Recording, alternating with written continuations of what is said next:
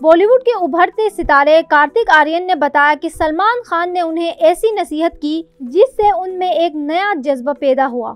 बॉलीवुड अदाकार कार्तिक आर्यन ने एक टीवी शो के दौरान अपने फिल्मी कैरियर के हवाले से तफसीली गुफ्तगू की।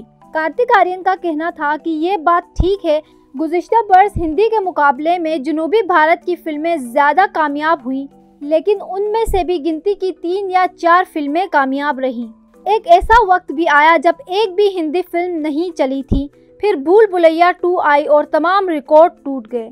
2022 में दीगर सितारों के मुकाबले में उनकी फ़िल्म की कामयाबी का राज बताते हुए कार्तिक आर्यन ने कहा कि उन्हें सलमान खान ने बेहद खूबसूरत बात कही थी, सबकी फ़िल्मों के साथ तुम्हारी फ़िल्म हिट हो तो मज़ा नहीं आता।